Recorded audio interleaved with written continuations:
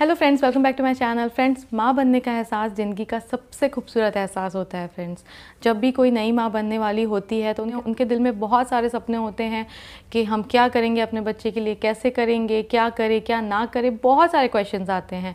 जब मैं एक्सपेक्ट कर रही थी शिवाय होने वाला था, उस टाइम पर मैं रात रात को बहुत देर तक जाके जो है यूट्यूब पर वीडियोज़ देखा करती थी नेट पर सर्च किया करती थी कि बच्चे के लिए क्या लगेगा, कैसे करना है, कैसे नहीं करना है. तो आप लोग भी अगर एक्सपेक्टिंग मदर है जो मेरा वीडियो देख रही हैं तो आपके मन में भी बहुत सारे सवाल होते होंगे कि हमें, अगर हमें हॉस्पिटल जाना पड़ा अचानक से तो हमारे पास बैग में क्या क्या होने चाहिए? तो आपके हॉस्पिटल बैग में क्या क्या होना चाहिए, उसी के लिए मैं ये वीडियो लेकर आई हूँ फ्रेंड्स जिसके लिए मैंने आप लोगों के लिए एक लिस्ट प्रिपेयर करी है। ये लिस्ट मैंने अपने एक्सपीरियंस के हिसाब से प्रिपेयर करी है फ्रेंड्स मतलब जो मैंने अपने लिए पैक किया था, वही सारी चीज़ें मैंने इसमें ऐड करी है। तो चलिए मैं आपको बताती हूँ कि आपको अपने बैग में हॉस्पिटल के बैग में क्या क्या चीज़ें रखनी है। पहले फ्रेंड्स मेरा सजेशन है कि आप दो बैग रेडी करिए मतलब एक अपने बच्चे के लिए और एक आपके लिए। तो इससे क्या हो जाएगा कि इजी हो जाएगा क्योंकि जब आपकी डिलीवरी हो जाएगी तब आप इतने ज़्यादा खुशी में होंगी ना कि आपको सारी चीज़ें ऐसे अगर बहुत ज़्यादा आपको ढूंढना पड़े कुछ प्रॉब्लम होना तो आप इरिटेट हो सकती हैं। तो इसलिए दो बैग पैक करिए ताकि क्या हो कि आपके बच्चे के सामान अलग हो आपका सामान अलग हो तो बहुत ईजीली आप उसको एक्सेस कर पाएँ बहुत ईजिली आपको मिल पाए। तो सबसे पहले फ्रेंड्स मदर की लिस्ट में बताना चाहूँगी कि आपको मदर की लिस्ट में मतलब आपकी लिस्ट में क्या क्या आपको रखना है। नर्सिंग गाउन रखना है फ्रेंड्स आपको। नर्सिंग गाउन मतलब आप उस गाउन में बच्चे को अच्छे से फ़ीड करवा सकती हैं। उसमें सामने तरफ़ बटन या जिप दी हुई होती है, जिससे कि आप इजीली अपने बच्चे को फ़ीड करवा सकती हैं। तो जब भी आप हॉस्पिटल जाएँ तो अपने हॉस्पिटल बैग में कम से कम तीन नर्सिंग गाउन ज़रूर रखिए। वैसे टी शर्ट्स भी मार्केट में अवेलेबल हैं, लेकिन टी शर्ट से अच्छे फ्रेंड्स मैं गाउन प्रेफर करूँगी, क्योंकि गाउन जो होते हैं, वो थोड़े से ढीले ढाले होते हैं ना तो बहुत कंफर्टेबल होते हैं। मेरा सी सेक्शन हुआ था फ्रेंड मेरी सीजेरियन डिलीवरी है तो मुझे गाउन में ही कंफर्टेबल लगता था, क्योंकि टाँके वगैरह लगे रहते हैं तो हम कमर पे कुछ पहन नहीं पाते हैं। तो अगर आप टी शर्ट लेते हैं तो पैजामा वेयर नहीं कर पाएँगे, इसलिए कोशिश करिए कि आप गाउन ही खरीदें। अब दूसरा फ्रेंड्स होगा आपका स्लीपर्स मोजे टॉवल नैपकिन रुमाल और सर पे बांधने का कपड़ा। फ्रेंड्स देखिए, अगर विंटर में आपकी डिलीवरी होने वाली है तो गर्म कपड़े तो आपको रखने ही हैं। और अगर नॉर्मल भी डिलीवरी होती है तो भी आपको मोजे और सर पे बांधने का कपड़ा तो ज़रूर रखना है। क्योंकि ऐसा कहते हैं फ्रेंड्स के, जैसे ही डिलीवरी हो जाती है, हमारे बड़े कहते हैं कि पैरों को तुरंत ज़मीन पर नहीं रखना चाहिए, इसलिए मोजे या स्लीपर तो आपको रखने ही हैं। साथ में कान में हवा नहीं जानी चाहिए, उसके लिए आपको एक कपड़ा रखना चाहिए। मेरे पास है एक सेकेंड देखिए, इस टाइप का रुमाल है, ये ऐसा आप रुमाल रख लीजिए और इसको आपने देखा होगा कि इस तरीके से जो है, जो नई मदर बनती है, वो बाँध के रखती है या फिर आप इस तरीके से भी बाँध सकते हैं। अगर आपको थोड़ा सा स्टाइलिश दिखने का शौक़ है तो ऐसे करके भी आप इसको बाँध के देखिए, रख सकते हैं। जिससे कान आपके ढके रहेंगे और आपके कान में जो है, बिल्कुल भी हवा नहीं जाएगी। उसके बाद फ्रेंड्स, अगला मैं बताना चाहूँगी कि toothpaste brush comb mirror lip balm cream ये सारी चीज़ें जो आपके लिए लगेगी वो आप रख लीजिए। साथ ही वेट वाइप्स भी रखिए फ्रेंड्स हो सकता है आपको फेस पोछने की ज़रूरत पड़ जाए, इसलिए वेट वाइप्स भी रखिए अपने साथ में। अगर आप चश्मे पहनते हैं तो चश्मे भी रख लीजिए। और सबसे इंपॉर्टेंट चीज़ है फ्रेंड्स पैड्स मतलब इसमें एक न्यू मॉम के पैड्स आते हैं, ये अमेज़ोन में अवेलेबल हो जाते हैं। वो थोड़े से हैवी मतलब आप समझ जाइए, वो बहुत इंपॉर्टेंट होते हैं आपके लिए। उसके बाद कुछ मदर्स होती हैं जो मसाज कराना पसंद करती हैं डिलीवरी के बाद में। तो मसाज ऑयल अपना रख लीजिए अपने साथ में। साथ ही गर्म पानी की बॉटल जैसे मेरे पास ये दो बॉटल्स है तो ये मैंने दोनों रखी हुई थी इस टाइप की। तो ये बहुत ज़रूरी चीज़ है, ये भी रखिए। और आपको अगर गर्म पानी का सेक करने की ज़रूरत पड़ती है, सिकाई करने की आपकी तो उसके लिए गर्म पानी की थैली आती है। ऐसी एक इलेक्ट्रिक थैली भी आती है, आप ये भी रख सकते हैं। इसको नॉर्मली आप ऐसे यहाँ से चार्ज कर सकते हैं। ये दो से तीन मिनट में एकदम चार्ज हो जाती है और ये सेक करने के लिए, सिकाई करने के लिए बहुत अच्छी होती है। तो ये भी आप रख लीजिए अपने बैग में। और फ्रेंड्स हाँ एक बेडशीट भी ज़रूर रखिए।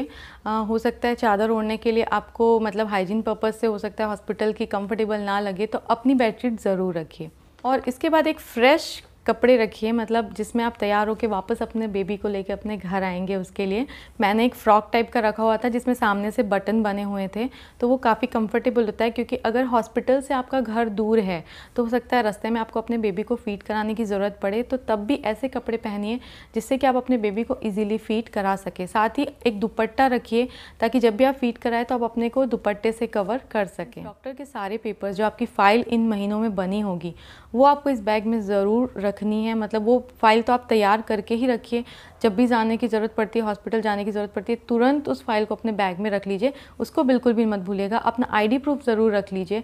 ये सारे डॉक्यूमेंट्स जो है आपको हॉस्पिटल में ज़रूर लगेंगे। तो फ्रेंड्स मदर के लिए तो सिर्फ़ इतनी सी लिस्ट थी। उसके बाद आपको अपना मोबाइल चार्जर साथ में ही कैमरा मत भूलिएगा क्योंकि कैमरे की ज़रूरत तो पड़ती है। मतलब अगर आप मेरे जैसे हैं तो आप तो सोचेंगे बेबी जैसे ही हो उसके अब हम बेबी के बारे में बात करते हैं कि बेबी के लिए हमें क्या क्या तैयार करना चाहिए। तो देखिए फ्रेंड्स बेबी के लिए कुछ ही चीज़ें मैंने तैयार करी थी, वो सारी मैं आपको भी दिखाऊँगी। लेकिन कपड़े हमारे में पहले से नहीं लेके रखते हैं बच्चे का। मतलब ऐसा मानते हैं कि बच्चा होने के बाद ही उसके कपड़े ले तो ज़्यादा अच्छा है। तो उसके लिए आप एक चीज़ कर सकते हैं कि अगर आपके घर में ऑलरेडी कोई बच्चा है, जैसे मेरी सिस्टर का बेटा है, जो शिवाय से थोड़ा सा ही बड़ा है तो उसके कुछ पुराने कपड़े थे, क्योंकि पुराने कपड़े बहुत सॉफ्ट हो जाते हैं पहन के यूज़ करके, और छोटे बच्चों के कपड़े जो है ज़्यादा ख़राब भी नहीं हुए रहते क्योंकि वो जल्दी जल्दी बड़े होते हैं। तो उन्हीं कपड़ों को जो है हम लोगों ने अच्छे से वॉश करके डिटॉल में अच्छे से दो तीन दिन धूप दिखा के उसको रख लिया था अपने पास। कुछ पुराने कपड़े उस टाइप के रखे थे और साथ ही जैसे ही शिवाय का बर्थ हुआ था उसके डैडी जाके उसके लिए बहुत सारी शॉपिंग करके लाए तो फ्रेंड्स बच्चे के लिए क्या क्या लगेगा मैं आपको बताती हूँ। सबसे पहले आपको कम से कम दो दर्जन नैपीज़ खरीद लेनी है क्योंकि बच्चे बार बार नैपी गीली करते हैं तो आपको चेंज करने की ज़रूरत पड़ती ही है। इसलिए कोशिश करिए कि ज़्यादा रखें। अब नैपी में भी बहुत सारे टाइप्स आते हैं मैं आपको बता देती हूँ। जैसे कि ये देखिए, कुछ इस टाइप की नैपी आती है। इसमें देखिए सामने इस तरीके से है मतलब ऐसे पहना दिए। बच्चे को ऐसे पहना दिए और यहाँ से जो ये रस्सी है, इसको निकाल के यहाँ पर बाँध दिए। तो ये मुझे बहुत कंफर्टेबल लगी।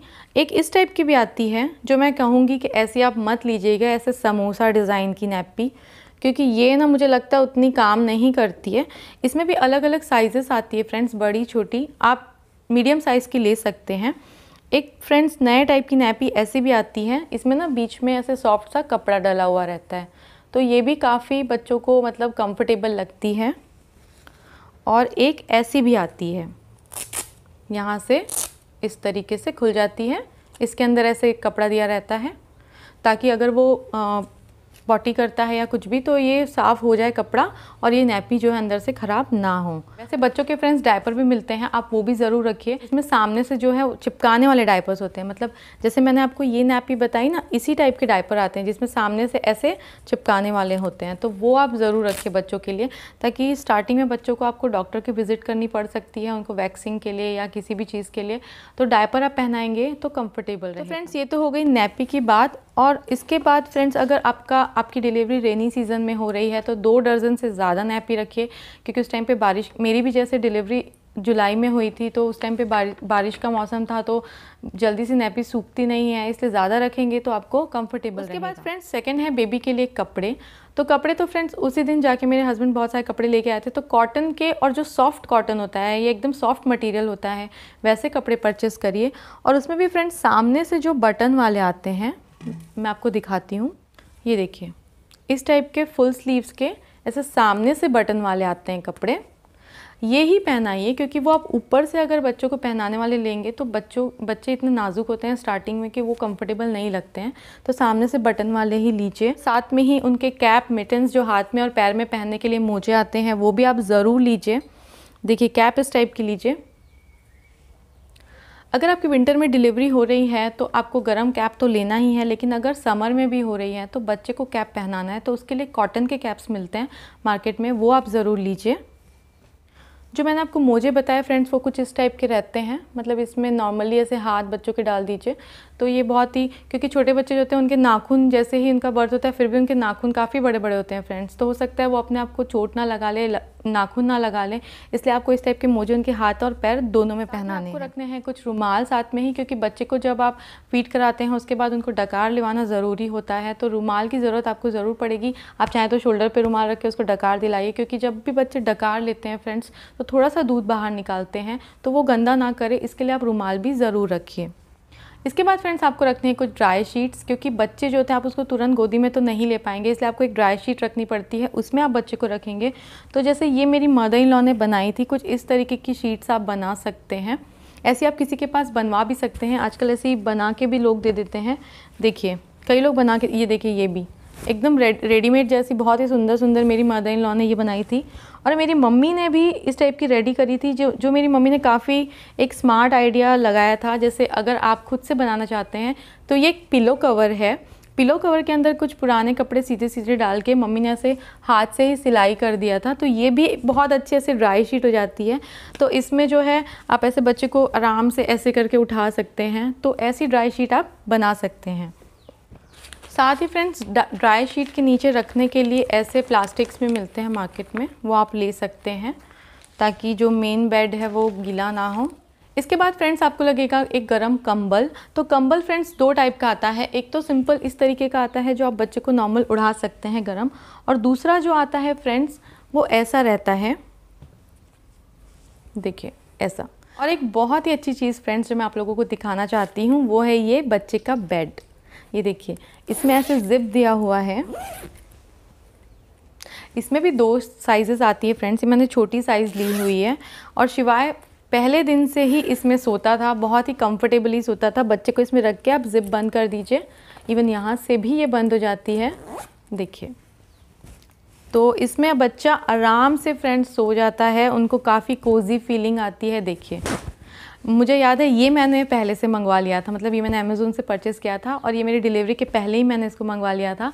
तो जब ये आया था ना फ्रेंड्स तो मुझे इतनी खुशी हुई थी इसको देख के। मैं ऐसे ही टॉय रख के, ऐसे ऐसे मतलब वो फील ले रही थी कि मेरा बच्चा होगा तो कैसा होगा, क्या होगा? तो आप भी ऐसी फील ज़रूर लीजिए फ्रेंड्स इससे क्या होगा कि आपका मन बहुत खुश होगा और अगर आप खुश रहेंगे तो इसका अच्छा असर आपके बच्चे पर भी पड़ेगा। इसके बाद फ्रेंड्स आप बच्चे के लिए ऐसा भी बेड एक रख सकते हैं। इस टाइप का आता है मार्केट में।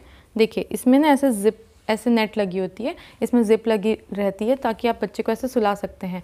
अगर आपकी डिलीवरी ऐसी कहीं जगह होती है जहाँ पे हो सकता है मच्छर की प्रॉब्लम हो तो आप ऑल आउट वगैरह तो लगाएँगे ही, लेकिन बच्चे के लिए अगर ऐसी नेट वाली नेट वाला बेड रखेंगे तो ज़्यादा बेटर है। इसके बाद फ्रेंड्स बच्चों को बांधने के लिए कोई बेडशीट के टुकड़े लंबे लंबे काट के रख लीजिए, या फिर आप पुराने कॉटन के दुपट्टे भी रख सकते हैं, क्योंकि स्टार्टिंग में बच्चों को जो है अच्छे से डॉक्टर बोलते हैं कि बाँध के रखें तो ज़्यादा बेटर है। देखिए कुछ इस तरीके से। ये बेडशीट है। बस आपको इसमें एक ख्याल रखना है कि इसके कॉर्नर्स आपको स्टिच करवा लेना है, क्योंकि जब आप काटेंगे तो इसके छोटे छोटे धागे निकलेंगे फ्रेंड्स तो वो बच्चे को इरिटेट कर सकते हैं, इसलिए ये ज़रूर करिए। तो कुछ बेडशीट्स कम से कम छः से सात टुकड़े बेडशीट या दुपट्टे के ज़रूर रखिए। इसके बाद फ्रेंड्स आपको रखना है बेबी टॉवल तो ऐसा बेबी टॉवल मार्केट में मिलता है, आप ले सकते हैं ऐसा। ऐसे कम से कम दो टॉवल आपको ज़रूर रखने हैं फ्रेंड्स अब अगला जो है फ्रेंड्स बच्चे के लिए तकिया। तो बेड के साथ में देखिए, ये तकिया ना इसके अंदर राई भरी हुई है। ये मेरी मम्मी ने बनाया था। ऐसा मानते हैं, बड़े ऐसा बोलते हैं कि अगर बच्चों को ऐसे राई वाले तकिए में आप सुलाएँगे ना तो उनका जो सर होता है ना, वो अच्छे से गोल हो जाता है। तो देखिए, सिंपल सा है, इसके अंदर में राई भरी हुई है। तो राई का तकिया, या अगर आप राई का तकिया नहीं भी रखना चाहते तो नॉर्मल इस टाइप के पिलो आते हैं बच्चों के, आप ये भी रख सकते हैं। इसके बाद फ्रेंड्स कुछ ज़रूरी चीज़ें हैं जो आपको बच्चों के लिए पहले से ख़रीद के आप रख सकते हैं, जैसे ये वेट वाइप्स हो गए। हाँ लास्ट में चीज़ और बताना चाहूँगी कि जैसे आपका बच्चा होगा, आपको डॉक्टर्स फार्मूला मिल्क लिख कर देंगे, क्योंकि अगर सी सीजेरियन डिलीवरी होती है तो एक दो दिन बाद ही माँ फ़ीड करवा सकती है। तो आप जो भी फार्मूला मिल्क लेते हैं, उसका प्लीज़ छोटा डब्बा ही पहले लीजिए। हम लोगों ने क्या मिस्टेक की थी कि हम लोगों ने बड़े बड़े डब्बे ले लिए थे। बच्चे इतना सारा दूध नहीं पीते हैं और फिर वो डब्बे जो है, एक बार खुलने के बाद कुछ ही टाइम तक रख सकते हैं आप उसको। उसके बाद वो एक्सपायर कर जाते हैं। इसलिए कोशिश करिए कि छोटे डब्बे लीजिए। इवन फार्मूला मिल्क ही नहीं, बच्चे के लिए आप कोई भी चीज़ें लेते हैं, जैसे पाउडर क्रीम या फिर उनके लिए और भी दूसरी चीज़ें तो कोशिश करिए पहले छोटे पैकेट से लीजिए। क्योंकि हर चीज़ हर बच्चों को सूट नहीं करती है। तो ये मेरी स्पेशल टिप है फ्रेंड्स मेरे एक्सपीरियंस से कि बच्चों के लिए पहले छोटी छोटी चीज़ें लीजिए। अगर उनको सूट करता है, उसके बाद आप उनके लिए वो चीज़ के बड़े पैकेट्स या बड़े डब्बे ले सकते हैं। तो फ्रेंड्स ये लिस्ट यहीं तक थी। बच्चों के लिए सारी चीज़ें मैंने आपको बता दी हैं मदर के लिए भी बता दी हैं। दो बैग पैक करिए। क्या क्या चीज़ें हैं, सारी मैं डिस्क्रिप्शन बॉक्स में भी दे रही हूँ। आप उसमें भी देख लीजिए। अगर और कोई चीज़ें आपको ऐड करना है तो आप भी कर सकते हैं इसमें ऐड फ्रेंड्स वैसे मैंने कोशिश करी है कि मेरे एक्सपीरियंस से मैंने जितनी चीज़ें ली थी, वो सारी मैंने आपको बता दी है। और फ्रेंड्स बहुत अच्छा टाइम आने वाला है आपका आपका बेबी आने वाला है। तो ये सारी तैयारियाँ शुरू से आप कर लेंगे ना तो उसके बाद आप अपने बच्चे के साथ इन्जॉय कर पाएँगे। क्योंकि हॉस्पिटल में लास्ट मोमेंट पे अगर आपको जाना पड़ जाए तो ये सारी पैकिंग में जो है आप इरिटेट हो सकते हैं। इसलिए कोशिश करिए कि जैसे ही आपका भी आठवां महीना लगता है ना, आप तुरंत ये सारी पैकिंग करके एक तरफ़ रख दीजिए। जो चीज़ें ऐसा लगता है, जैसे गर्म पानी की बॉटल वगैरह, वो आप लास्ट मोमेंट पर ले सकते हैं। लेकिन जो चीज़ें कपड़े वगैरह ये सब पहले से ही पैक करके रख लीजिए फ्रेंड्स अपना। तो आई होप फ्रेंड्स ये वीडियो आप लोगों के लिए यूज़फुल रहेगी, पसंद आई होगी। और एक चीज़ मैं आपको और बताऊँ, आप लोग भी शायद रखते होंगे, ये मेरी मेमोरी है, इसलिए मैं आप लोगों के साथ शेयर करना चाहती हूँ। ये देखिए। ये मैंने अपने कमरे में लगाया था ये पोस्टर तो अगर आप भी एक्सपेक्टिंग मदर है तो एक सुंदर सा, प्यारा सा, ऐसा क्यूट सा बेबी अपने घर पे, अपने रूम पर लगा के रखिए। जब भी आप इसको देखेंगे ना तो आपको बहुत अच्छी फीलिंग आएगी कि मतलब बस आपके भी अब आने वाला है। सच में बहुत ही सुंदर समय होता है एक प्रेगनेंसी का, बहुत प्यारा मतलब एक कहते हैं ना कि हम बहुत वेट करते रहते हैं कि कब हम माँ बनेंगे, कब हमारा बच्चा होगा। मतलब हम हमेशा सपने में ही खोए रहते हैं, हमारा बच्चा कैसे होगा, कैसा दिखेगा, क्या होगा। मतलब ये सब चीज़ें जो है ना मैं समझ सकती हूँ कि बहुत एक्साइटमेंट वाली है। तो आप लोगों का बहुत अच्छा टाइम आने वाला है, जो भी एक्सपेक्टिंग मदर है, आपका बहुत प्यारा सा बेबी इस दुनिया में आने वाला है। तो बहुत अच्छी से उनके लिए तैयारी करिए हैप्पी रहिए और जितना ज़्यादा से ज़्यादा हो सके अपना ध्यान रखिए फ्रेंड्स तो चलिए, इस वीडियो को मैं यहीं ख़त्म करती हूँ फ्रेंड्स अगर ये वीडियो आप लोगों को पसंद आई होगी तो प्लीज़ लाइक ज़रूर करिएगा। आपके पहचान में कोई एक्सपेक्टिंग मदर्स और भी हैं तो उनके साथ मेरा ये वीडियो ज़रूर शेयर करिएगा फ्रेंड्स चलिए, मिलूँगी फिर नए से इंटरेस्टिंग वीडियो के साथ। तब तक के लिए बाय बाय